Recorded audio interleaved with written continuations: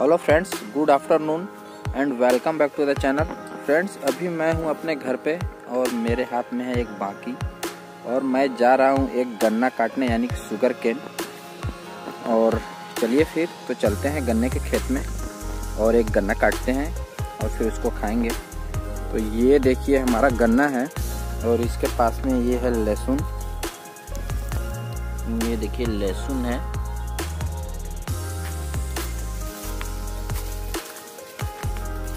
ये देखिए धान, अभी इधर थोड़ा सा लगा हुआ है, इधर सब धान कट गया है। रेपर से कटा है धान। और ये धान यहाँ पे मशीन नहीं पहुँच पाई है तो हाथ से काटना पड़ेगा बाकी से। तो आइए इस गन्ने के अंदर चलते हैं और देखते हैं इसमें है कोई अच्छा गन्ना तो उसको काट के निकालते हैं फिर। अभी मैं आ गया हूँ गन्ने के खेत के अंदर और ये देखिए जो पत्तियाँ हैं गन्ने की, ये बहुत ही डेंजरस होती है। अगर ऐसे गर्दन पे आप इसको रगड़ देंगे तो वहाँ पर तुरंत कट जाएगा, छिल जाएगा और वहाँ पे खुजली होने लगता है तो बहुत दिक्कत होता है। तो हमें इससे बच के इसमें से गन्ना निकालना है।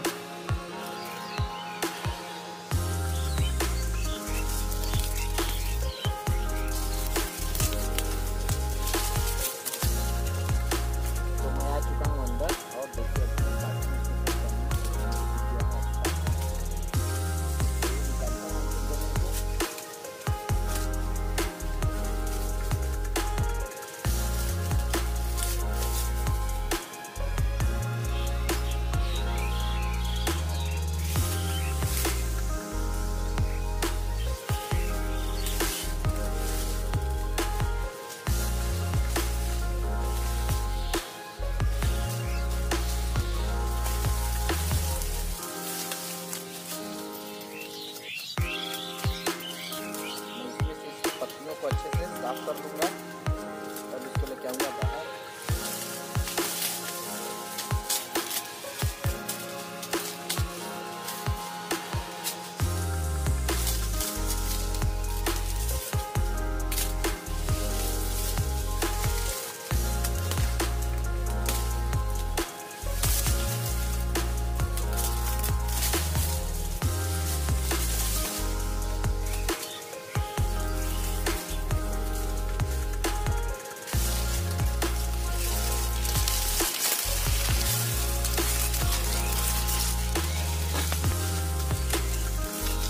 तो फाइनली फ्रेंड मैंने एक गन्ना काट लिया है।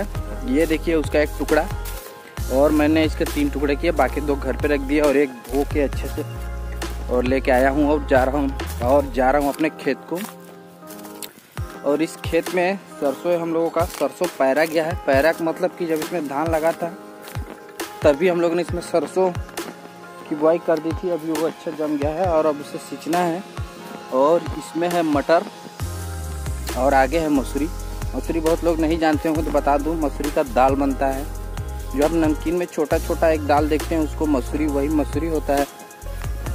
और मैं आज अभी जा रहा हूँ अपने पूरे खेत में देखने के लिए, जहाँ जहाँ पे बुआई हुई है, कि कौन सा फ़सल अच्छा जमा है कौन सा नहीं जमा है।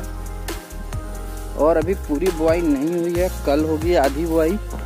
तो चलिए फिर चलते हैं और गन्ने का मज़ा लेते हैं।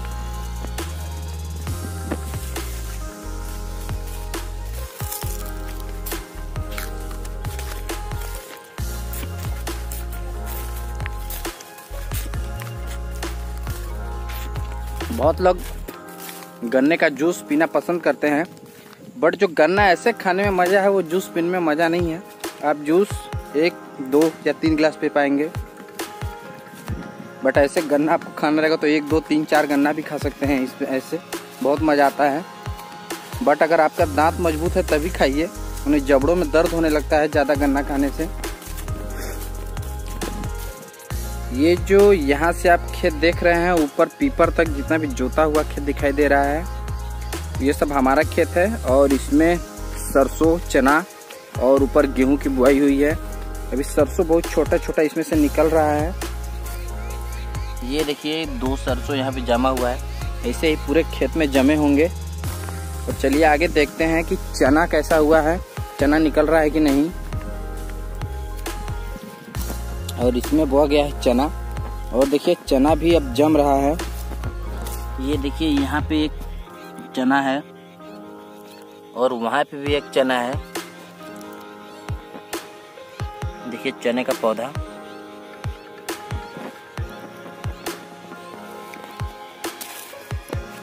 चलूँगा यहाँ से सीधे नहर पे और देखूँगा वहाँ पे गेहूँ की फ़सल।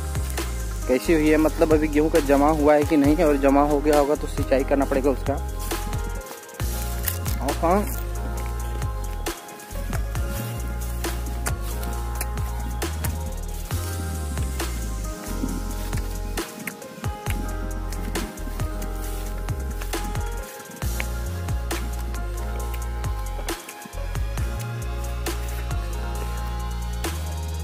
अगर आपके घर में गन्ना है तो आप उसे ज़रूर खाइए, क्योंकि गन्ने में बहुत ही ज़्यादा आयरन की मात्रा होती है और ये हमारी इम्यूनिटी सिस्टम को बहुत ही सही रखता है।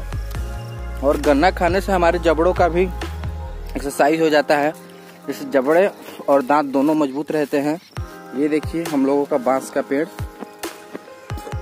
और ये सब मेरे बड़े पापा का खेत है और उसमें गेहूँ की बुआई हो गई है और देखिए सब गेहूँ इसमें निकल गया है। ये सब उनका खेती कोई और करता है, वो लोग नहीं करते हैं। और चलिए आगे चलते हैं। मैं आपको अपने नहर पे ले चल रहा हूँ और वहाँ पे दिखाता हूँ कि मेरा गेहूँ कैसा हुआ है। और वो देखिए, सामने मेरे बड़े पापा का ट्रैक्टर चल रहा है और उसको चला रहा है दीपू।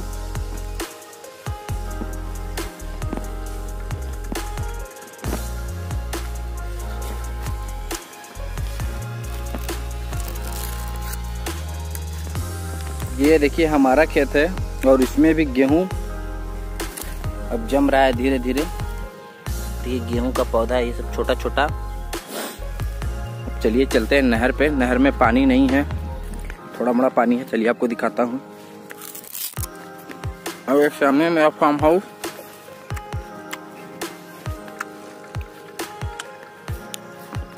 और ये धान का बोझा रखा हुआ है, दूसरे का है। अब इसको ट्रैक्टर से दवा जाएगा और धान और बॉल को अलग करके धान घर में ले जाएँगे और बॉल को काट के, इसका चारा बना के जानवरों को खिलाएँगे। और ये हमारा मर्चा इसको सींचना है, कल या परसों मशीन हम लोग लगाएँगे नहर में, पानी होगा तो। और इसको सींचेंगे।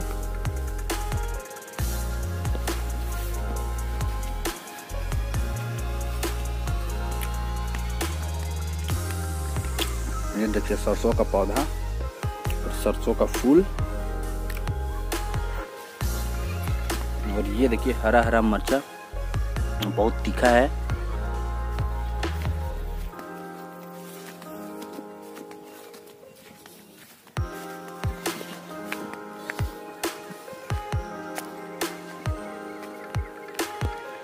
और देखिए, पूरा नहर खाली है। नहर में थोड़ा सा पानी है।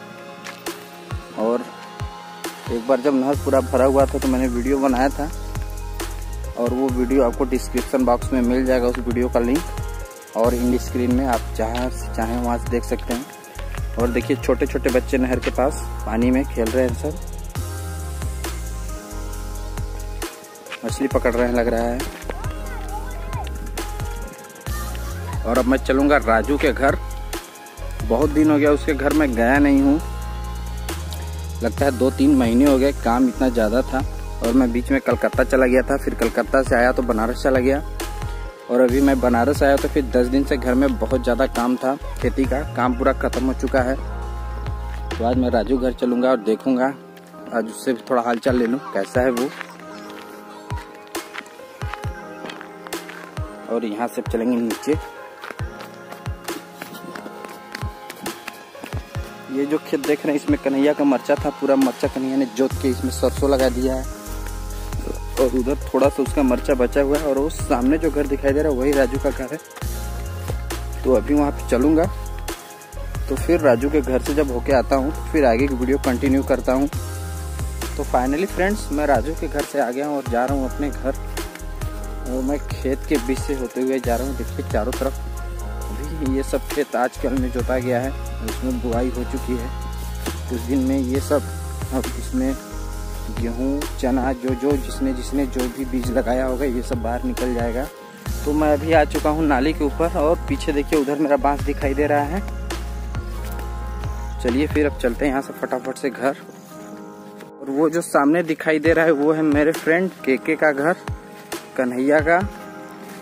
और इधर दीपू उधर चला रहा है ट्रैक्टर वहाँ पे। तो फ्रेंड्स मैं इस वीडियो को यहीं समाप्त करता हूँ। अगर आपको हमारा वीडियो पसंद आता है तो हमारे वीडियो को लाइक करिए और हमारे चैनल सुपर सोनू कुमार को सब्सक्राइब करके बेल आइकन प्रेस कर दीजिए, ताकि कोई भी आने वाली वीडियो का नोटिफिकेशन आपको मिलता रहे। तो फिर मिलते हैं एक नए ब्लॉग में। तब तक के लिए बाय बाय फ्रेंड्स